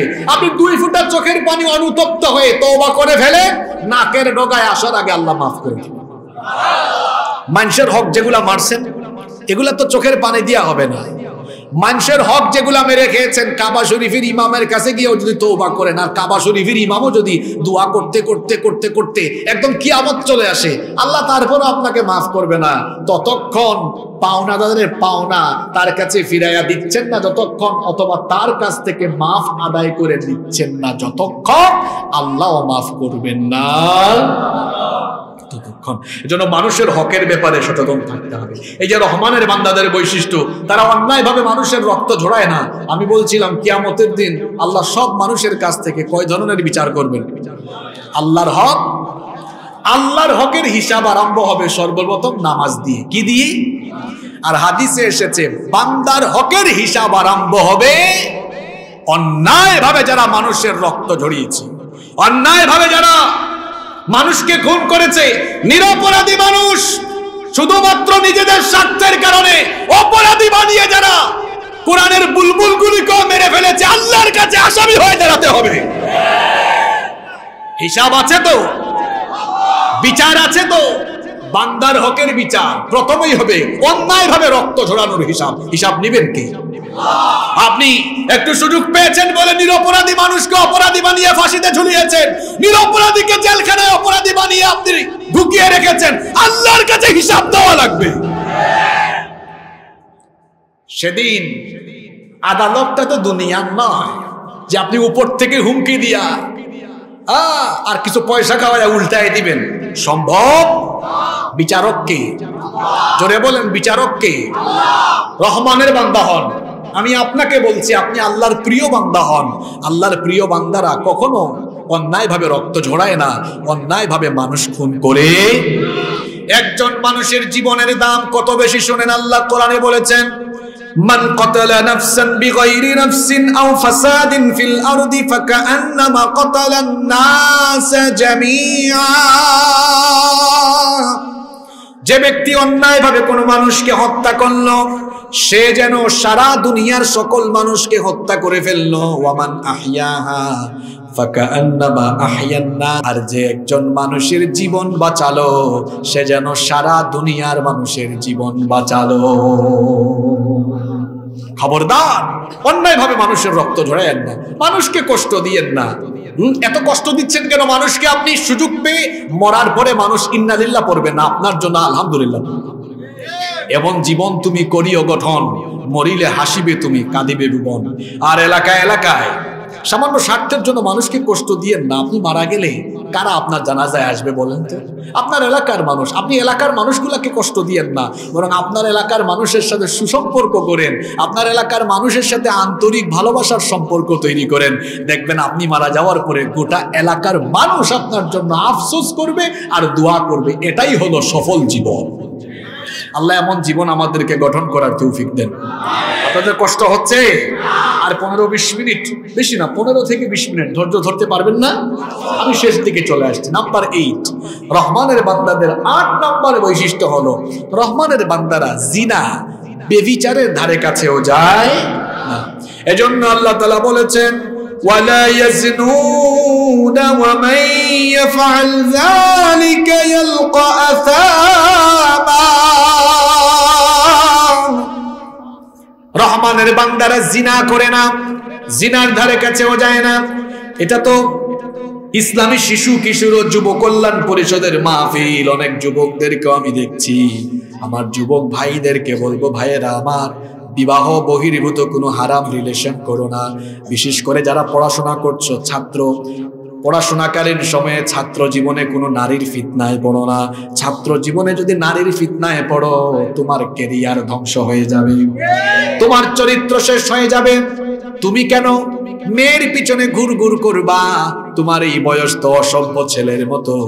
মেয়েদের পিছনে ঘোরার বয়স নয়, তুমি এই বয়সে পড়ার টেবিলে মনোযোগ দাও, ক্লাসে মনোযোগী হও, সুন্দর একটা কেরিয়ার তৈরি করো, আজান হলে নামাজে যাও, চরিত্রবান হও। তুমি যদি তোমাকে চরিত্রবান বানাতে পারো, কেরিয়ার যদি ভালো করতে পারো, মেয়েদের পিছনে তুমি ঘুর ঘুর করা লাগবে না। দেখবা এই উখিয়া অঞ্চলের সকল সুন্দরী সুন্দরী মেয়ের বাপ তোমার মতো সুন্দর কেরিয়ার আর চরিত্রবান ছেলের কাছে মেয়ে বিয়ে দেওয়ার জন্য তোমার পিছনে ঘুর ঘুর ঘুর ঘুর করা আরম্ভ করবে। তুমি সিদ্ধান্ত নাও, তুমি অসভ্য ছেলের মতো মেয়েদের পিছনে ঘুর ঘুর করবা নাকি নিজেকে এমন জায়গায় নিয়ে যাবা যাতে করে সুন্দরী সুন্দরী মেয়ের বাপরা তোমার পিছনে ঘুর ঘুর ঘুর ঘুর করে। সিদ্ধান্ত নাও। এইসব ফাইজলাম ও চিন্তা মাথা থেকে বাদ দাও ভয় করতে হবে কাকে? হারামে কোনো আরাম? হারাম রিলেশন করবা? জীবনে আরাম পাবা না। যৌবন পথে ঘাটে নষ্ট করে দিও না। কলেজে বিশ্ববিদ্যালয়ের ক্যাম্পাস যৌবন শেষ করে দিও না। যৌবনকে হেফাজত করো। আল্লাহ যেভাবে বলেছেন সেরকম। তাহলে দাম্পত্য জীবনটাকে বরকত দিয়ে যিনি ভরপুর করে দিবেন তিনি কে? হারামে কোনো আরাম? রহমানের বান্দাদের আট নম্বর বৈশিষ্ট্য, তারা জিনা করে না। আমার যুবক ভাইদেরকে বলছি, যুবক ভাইয়েরা শোনেন, লজ্জাস্থানের হেফাজত করেন, চরিত্র ঠিক রাখেন। নবীজি আপনাদেরকে সুসংবাদ দিয়েছেন, বুখারীর হাদিস নবীজি বলেছেন মাইয়াম্মাল্লি মা বাইনা লাহিয়াইহি ওয়া রিজলাইহি আদমানু লাহুল জান্নাহ। যে ব্যক্তি যে ব্যক্তি তার দু চুয়ালের মধ্যবর্তী জায়গা, অর্থাৎ জিহবা, আর দু উরুর মধ্যবর্তী জায়গা, অর্থাৎ লজ্জাস্থান এই দুটো জিনিসের যারা হেফাজত করবে, এই দুটো জিনিসের জিম্মাদারি যারা গ্রহণ করবে, কাল কেয়ামতের দিন আমি নবী নিজে তার জন্য জান্নাতের জিম্মাদার হয়ে যাব। আমার যুবক ভাইদেরকে বলছি ভাইরা নিজের চরিত্র ঠিক করো। নবীজি তোমার জন্য জান্নাতের জিম্মাদার, জান্নাতের গ্যারেন্টার হয়ে তোমাকে জান্নাতে নিয়ে যাবে। সুবাহান আল্লাহ বিবাহ বহির্ভূত কোন হারাম রিলেশনের দিকে নিজের চিন্তা চেতনাকে নেওয়া যাবে নাম্বার নাইন, রহমানের বান্দাদের নয় নাম্বার বৈশিষ্ট্য হলো তারা কখনো মিথ্যা সাক্ষ্য দেয় না। মিথ্যা সাক্ষ্য বাতিলকে প্রতিষ্ঠিত করে, মিথ্যা সাক্ষ্য সমাজে অন্যায়কে প্রতিষ্ঠিত করে এই জন্য মোমেনরা কখনো আল্লাহর প্রিয় বান্দারা কোনোদিনও মিথ্যার সাক্ষী দেয় না এই জন্য আল্লাহ বললেন।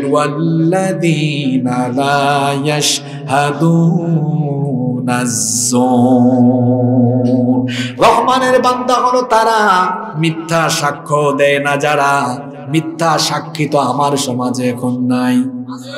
আপনারা ঘুমাই গেছেন নাকি? একটা মিথ্যা সাক্ষ্য একজন ভালো মানুষের জীবন কেড়ে নেওয়ার জন্য এনাফ হতে পারে। একটা মিথ্যা সাক্ষীর মাধ্যমে অন্যায় প্রতিষ্ঠিত হয়ে যেতে পারে। মিথ্যা সাক্ষর পরিণাম অনেক ভয়াবহ অনেক ভয়াবহ। কত ভয়াবহ শোনেন। মনোযোগ আছে তো? একটা ঘটনা মনে পড়েছে। ঘটনাটা বলব? এই ঘটনাটা বোহারি শরীফে বর্ণিত হয়েছে। নবীজি এভাবে হেলাত দিয়ে বসে, আমার দিকে তাকা এভাবে হেলাত দিয়ে সাহাবিদেরকে বলছেন, আলা উনাব্বিউকুম বিআকবারিল কাবাইর? আচ্ছা আমি কি তোমাদেরকে বড় বড় কিছু কবিরা গুণা সম্পর্কে সতর্ক করব না? সাহাবিরা বললেন বালা ইয়া রাসূলুল্লাহ। হ্যাঁ, আমাদেরকে সতর্ক করেন আপনি। নবীজি বললেন এভাবে হেলান দেওয়া আল ইশরাকু বিল্লাহ। আল্লাহর সাথে শিরিক করিও না এটা বড় কবিরা গুণা। এরপরে বললেন ওয়াকুকুল ওয়ালিদাইন। আর পিতামাতার সাথে বাজে আচরণ করো না অবাধ্য হয় না। কোন অবস্থায়? আমার দিকে তাকান। কি অবস্থায়? হেলান দিয়ে এই এই কথাগুলো বললেন। এরপরে, ওয়াকানা মুত্তাকি আন ফাজালাসা হেলান ছেড়ে দিলেন। এরপরে সোজা হয়ে বললেন, আরও একটা আচ্ছা নবীজি যে কথাটা বলার জন্য হেলান ছেড়ে দিলেন, সেই কথাটা কি কম গুরুত্বপূর্ণ না বেশি গুরুত্বপূর্ণ? শুনেন, হেলান দিয়ে দিয়ে বললেন, আল্লাহর সাথে শির করো না মা বাবার অবাধ্য হয় না। এবার হেলান ছেড়ে দিয়ে বললেন, সাবধান! আলা ওয়াকুল জুর মিথ্যা সাক্ষ্য দিও না। মিথ্যা কথা বলো না। ওয়া শাহাদাতু জুর ওয়া শাহাদাতু জুর ওয়া শাহাদাতু জুর ওয়া শাহাদাতু জুর বর্ণনাকারী সাহাবী বলছেন, নবীজি হেলান ছেড়ে দিয়ে যতক্ষণ তার দম ছিল, নিঃশ্বাস ছিল, ততক্ষণ শুধু বলেছেন, মিথ্যা সাক্ষ্য দিও না, মিথ্যা সাক্ষ্য দিও না, মিথ্যা সাক্ষ্য দিও না, মিথ্যা সাক্ষ্য দিও না। আল্লাহু আকবার। তাহলে বুঝা গেল, মিথ্যা সাক্ষ্য, এটা খুব জঘন্য গুণা ওই যে বললাম, আরে মিথ্যা সাক্ষ্য, এটা তো মাঝে মাঝে এমন হয়। মাঝে মাঝে মিথ্যা সাক্ষ্য, এমন পর্যায়ে পৌঁছায় একটা মিথ্যা সাক্ষ্যের কারণে যুগ শ্রেষ্ঠ অনেক আলেমদেরও জীবন নাশের সম্ভাবনা দেখা যায় মিথ্যা সাক্ষী তো বাতিলকে প্রতিষ্ঠিত করে, অন্যায়কে প্রতিষ্ঠিত করে। এজন্য আল্লাহ বলেছেন, রহমানের বান্দারা জীবন চলে যাবে। মিথ্যা সাক্ষী দিতে পারে মিথ্যা বলা। এটা আমাদের সমাজে আছে না নাই? ফোন দিয়েছে। দোস্ত, তুমি কোথায়? আছে রাজা পালং। কয়, আমি আছি কুতু পালং। আপনাদের এলাকে অনেক পালং আছে না? রাজা পালং, কুতু পালং, হলদিয়া পালং, বহুত পালং আছে। আমি অনেক পালংয়ে গেছি। তো আছে এক পালং, বলে আরেক পালং। এরকম মিথ্যা বলার স্বভাব আছে না? আহারে, মিথ্যা বললে ওই মানুষটার মুমিন থাকে না। নবীজি বলেছেন, সে কি হয়ে যায়? মুনাফিক হয়ে যায়। সুরা মুনাফিকুনের প্রথম আয়াতে আল্লাহ বলেছেন, ইন্নাল মুনাফিকিনা লাকাদিবুন মুনাফিকের চরিত্র, এরা কথায় কথায় কি বলে? মিথ্যা বলে। আপনি মিথ্যা বললে ইমানদারের খাতা থেকে নাম আউট, মুনাফিকের খাতায় যাবে। আপনি বলবেন, হুজুর, মুনাফিক হইলে কি হবে? আরে, মুনাফিক হচ্ছে কাফিরের চেয়েও খারাপ। কাফির জাহান নামের উপরের তলায় যাবে, আর মুনাফিক জাহান নামের কাফিরের চেয়ে, ফেরাউনের চেয়ে, নমরুদের চেয়ে মুনাফিক ভালো না খারাপ? জি? তা আপনারা কি মিথ্যা বলে ফেরাউন নমরুদের চেয়ে আরও নিকৃষ্ট হতে চান? খবরদার, আজকে থেকে মিথ্যা বলা ছেড়ে আল্লাহ আমাদেরকে সত্যবাদী হওয়ার তৌফিক দান করেন। তাহলে নয়টা পয়েন্ট বলেছি। রহমানের বান্দারা কখনো মিথ্যা বলে না, মিথ্যা সাক্ষীও কষ্ট হচ্ছে না আপনাদের? দশ নম্বর রহমানের বান্দারা আজে বাজে কোনো কথা বলে না। আহারে, এই কোয়ালিটি আমাদের নিরানব্বই শতাংশ মুমিনের ভিতরে নেই। আজে বাজে। এখন তো ওয়াজ মাহফিল আজে বাজে বলা যায় অনেক জায়গায় লক্ষ লক্ষ টাকা খরচ করে মাহফিল এক ঘণ্টা। কোরআন নাই, হাদিস নাই। সাপের কিচ্ছা, বাবার কিচ্ছা বেঙের কিচ্ছা। এগুলো ফালতু কথা। কোরআন, হাদিসের কথা বলেন আপনি। আল্লাহ বলছেন, মুমিন এবং রহমানের বাংলাদেশ স্বভাব হলো وإذا مروا باللغو مروا কিরামা তারা যখন অহেতুক অহেতুক ফালতু অপ্রয়োজনীয় কথা বা কাজ চলছে এমন কোন জায়গা দিয়ে যায় তারা অ্যাভয়েড করে, উপেক্ষা করে, ভদ্রভাবে ব্যক্তিত্ববান মানুষের মতো চলে যায়। এটা আমাদের কয়েকজনের মধ্যে আছে? মনে করেন আপনি আপনার এলাকা দিয়ে যাচ্ছেন, টঙের দোকান। আমি তো বলি বাংলাদেশের যত চায়ের দোকান আছে, এগুলো হলো বাংলাদেশের সেকেন্ড পার্লামেন্ট এখানে চা বিক্রেতা থাকে সাংসদের ভূমিকায়, আর চা খোরেরা, চা বিক্রেতা থাকে স্পিকারের ভূমিকায়। আর চা খোরেরা যারা চা পান করে, তারা থাকে সাংসদের ভূমিকায়। যত আজে বাজে কথা দেখবেন ওখানে হয়, যত গিবত, চর্চা, পরনিন্দা, চুগলখুরি, আর এলাকার সকল বিষয়ের আলোচনা, সমালোচনা সেখানে হয়। আরেকটা জায়গা আছে, সেটা হলো মসজিদের সামনে যদি বৈঠকখানা থাকে, পুকুর থাকে, ওইটাও হলো আজে বাজে কথা বলার জায়গা। ইমাম সাহেব কি করল? সভাপতি কি করল? সেক্রেটারি কি করল? এলাকার অমুক কি করল? তমুক কি করল? এগুলো নিয়ে আলোচনা সমালোচনা। একজন মোমেন ব্যক্তি কখনো চুগুল চুগুলখুরি করে, গিবত করে, পরনিন্দা করে, অহেতুক কথা বলে, সে তার দুনিয়ার জীবনকে নষ্ট করতে পারে না। পরীক্ষার হলে ভালো ছাত্র, পরীক্ষার প্রশ্ন হাতে পেয়ে ডানে ভাবে তাকায় না, তিন ঘণ্টা সময়, তিন ঘণ্টা সময় লিখতে থাকে, কাজে লাগায়। আর ফালতু ছাত্ররা কিছুক্ষণ সামনের ছেলেকে গুতায়, কিছুক্ষণ পিছনের ছেলেকে গুতায়, কারণ সে তো কিছু পারে না। কিছুক্ষণ ডানে, কিছুক্ষণ বামে, কিছুক্ষণ সামনে, কিছুক্ষণ পিছনে। কিন্তু ভালো ছাত্র ডানে বামে, সামনে পিছনে তাকানোর সময় নাই। ঠিক তেমনি ভাবে ভালো মানুষেরা আল্লাহর প্রিয় বান্দারা।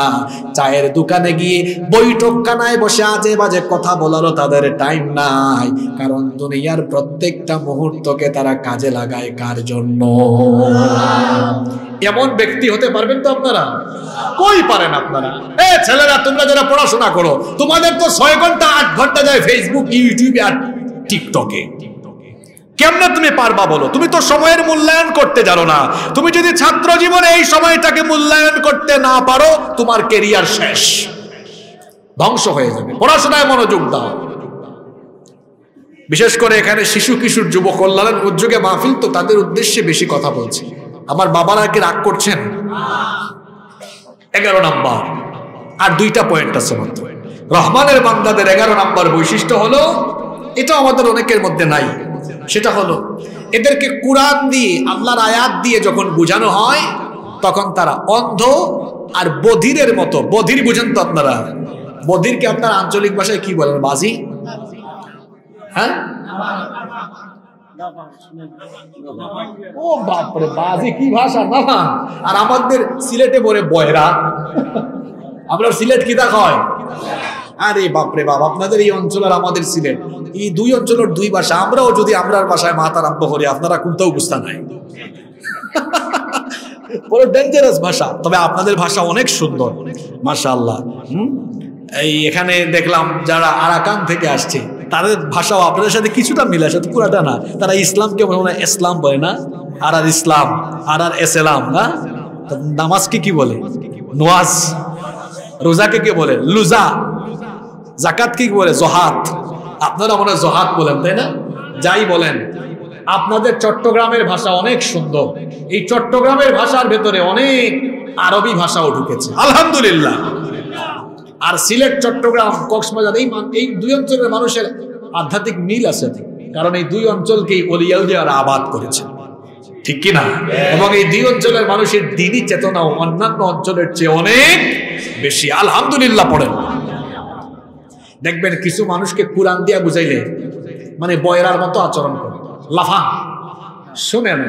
দেখাও দেখে না। শুনেও আল্লাহ বলছেন, না, রহমানের বান্দারা এমন নয়। রহমানের বান্দারা লাফাং নয়, বধির নয়, অন্ধ নয়। তাহলে তারা কেমন? আল্লাহ তালা বললেন ইযা যুক্কিরু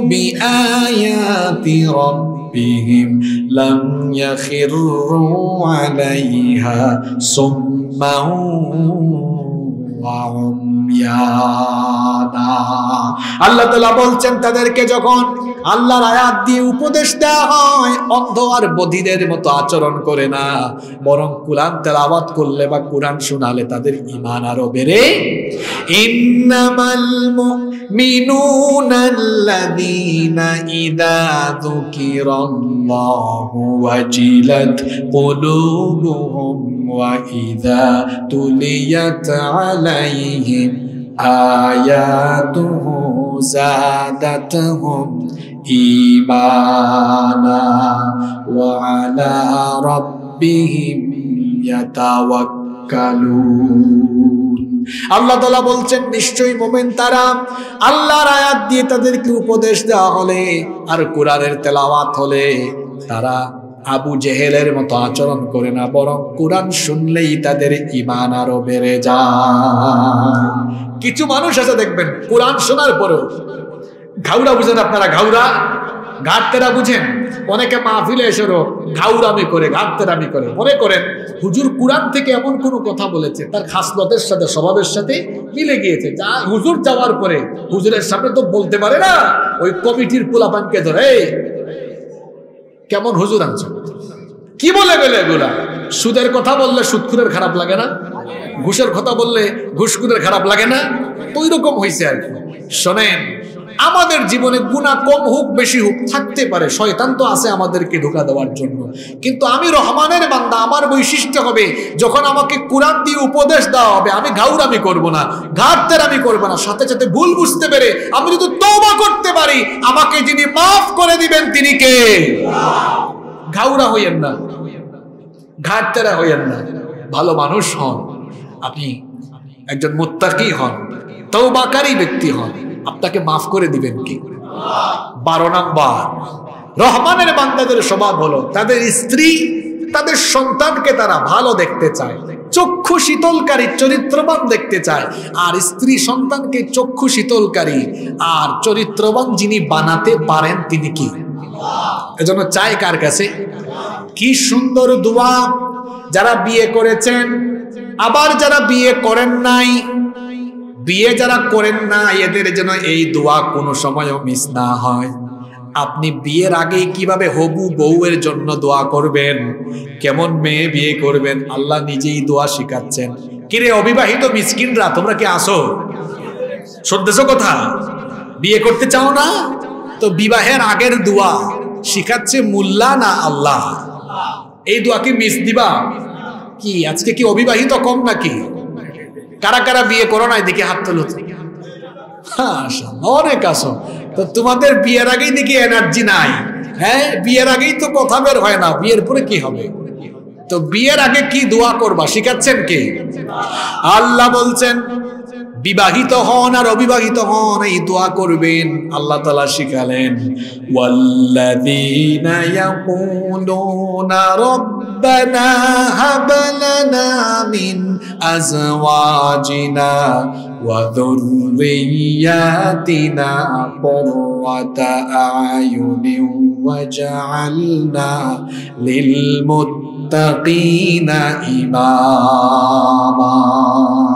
মুত্তাকিনা ইমামা সুবহানাল্লাহ কেন সুবহানাল্লাহ আগে পড়ালাম এবার শুনুন কি সুন্দর দোয়া শেষের পয়েন্টটা শুনেন কারণ কথায় আছে শেষ ভালো যার সব ভালো আল্লাহ বলছেন রহমানের বান্দানা সব সময় আল্লাহর কাছেই দোয়া করে রব্বানা হাবলানা মিন আজওয়াজিনা ومن ذرياتنا وذرياتنا قرة أعين واجعلنا ইমামা হে আমাদের রব, আমাদের স্ত্রী আর আমাদের সন্তানদেরকে আমাদের জন্য চক্ষু শীতলকারী বানিয়ে দেন। এমন স্ত্রী দান করেন, যাকে দেখলে আমার দুনয়ন ঠান্ডা হয়ে যায়। আচ্ছা বলেন তো আপনি যদি বাড়িতে গিয়ে দেখেন আপনার বউ আজান হলেই নামাজে দাঁড়ায়। আপনার বউ পাঁচ ওয়াক্ত নামাজি। রাতের বেলা তাহাজ্জুদে উঠে তাহাজ্জুদের নামাজ আদায় করে, আপনার বউ সকালবেলা কোরআন তেলাওয়াত করে, আপনার বউ বাড়ি থেকে বের হলে পর্দা করে বের হয়, আপনার বাবা মায়ের সাথে, পরিবারের সবার সাথে ভালো আচরণ করে। এমন বউ যদি আপনি পান, এমন বউ দু চক্ষু দিয়ে দেখলে দুনয়ন ঠান্ডা হবে কি হবে না? আল্লাহ বলেছেন, এমন স্ত্রী পাওয়ার জন্য তুমি আমার কাছে চাও। আর বাড়িতে যদি গিয়ে দেখেন আপনার ছেলে আজান হলেই নামাজে চলে যায়, আপনাকেও এসে বলে, আব্বু, আজান হয়েছে, চলেন আমরা, বাপ বেটা দুজনেই নামাজে যাই। যদি দেখেন আপনার মেয়েটা মায়ের সাথে নামাজে দাঁড়ায়, দুজনেই পড়াশোনায় মনোযোগী। আপনি যদি দেখেন আপনার সন্তান মানুষকে সম্মান করে, বাড়ি থেকে বের হলে আপনার এলাকার লোকজন বলে, ভাই, আপনার ছেলেটা এত ভালো। সবাইকে পেলেই সালাম দেয়, খুব ভদ্র ছেলে। সবাইকে সম্মান করে আপনি যদি সমাজের দিকে দিকে আপনার ছেলের এমন প্রশংসা শুনেন আর এমন নামাজি চরিত্রবান ছেলে আপনার চক্ষু দেখে বলেন তো চক্ষু ঠান্ডা হবে কি হবে না আল্লাহ বলেছেন তোমার স্ত্রী সন্তান যেন এমন চরিত্রবান হয় আমার কাছে এজন্য তুমি দোয়া করো পরেন আমার সঙ্গে রব ربنا هب لنا من أزواجنا وذرياتنا قرة أعين واجعلنا للمتقين মুত্তাকিনা ইমামা হে আমাদের রব আমাদের স্ত্রী সন্তানকে আমাদের জন্য চক্ষু শীতলকারী বানিয়ে দাও বলেন আমিন তোমরা যারা আবি একটা মিসকিন বিয়ে করো নাই তোমরা এই মর্ম বুঝবা না ভাই আমরা যারা বিবাহিত আমরা বুঝি টাকা আছে পয়সা আছে ক্ষমতা আছে সব আছে বউ যদি ভালো না হয় সব জাহান্নাম জাহান্নাম লাগবে ঠিক আছে কথা আর টাকা পয়সা কম আছে। ক্ষমতা টমতা কিছুই নেই টাকা নাই পয়সা নাই অল্প অল্প। বউ ভালো মনও চাঙ্গা। ঠিক কিনা বলেন? এজন্য আল্লাহ রসুলের হাদিস আছে এটা আবি ইত্তারা বুঝবে না, এই হাদিস বিবাহিতরা বুঝবে।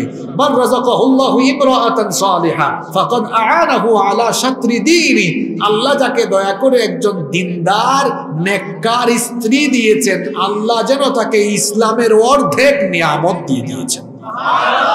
তো অর্ধেক পেলে বাকি থাকে কি আরও? অর্ধেক। বাকি অর্ধেক পাবেন কেমনে আল্লাহ নবী বলেছেন বাকি। অর্ধেকের ব্যাপারে আল্লাহকে ভয় করো, তাহলে বাকি অর্ধেকও দিয়ে দিবেন কে?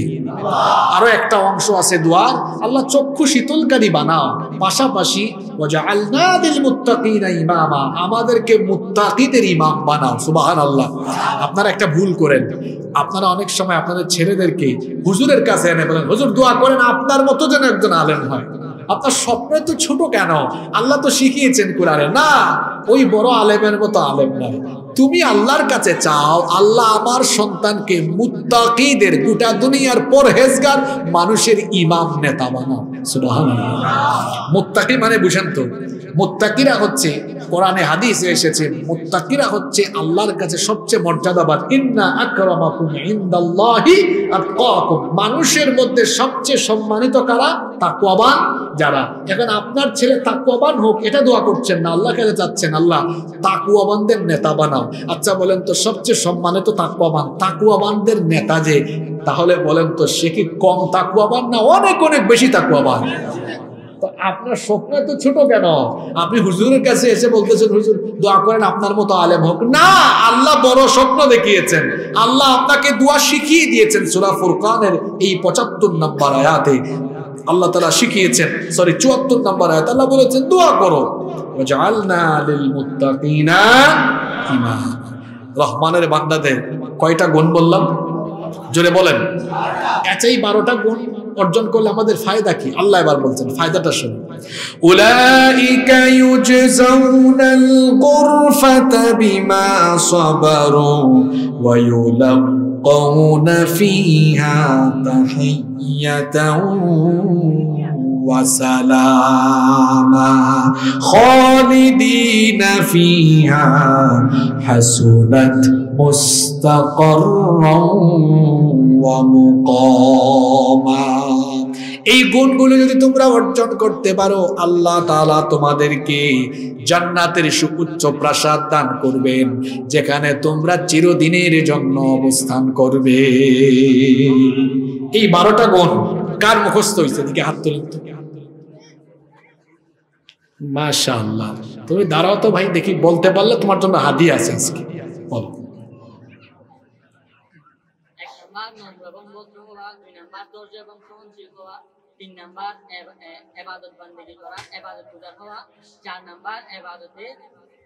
না করা, পাঁচ নাম্বার আল্লাহর কাছে হিসাব সহজের জন্য দোয়া করা, ছয় নাম্বার শিরিক মুক্ত থাকা, সাত নাম্বার হক নষ্ট না করা, আট নাম্বার লজ্জাস্থানে হেফাজত করা নয় নাম্বার নয় নাম্বার মিথ্যা সাক্ষ্য না দেওয়া দশ নাম্বার মিথ্যা সাক্ষ্য না দেওয়া দশ নাম্বার জাবানের হেফাজত করা এগারো নম্বর দশ নম্বর জাবানের হেফাজত করা এগারো নম্বর।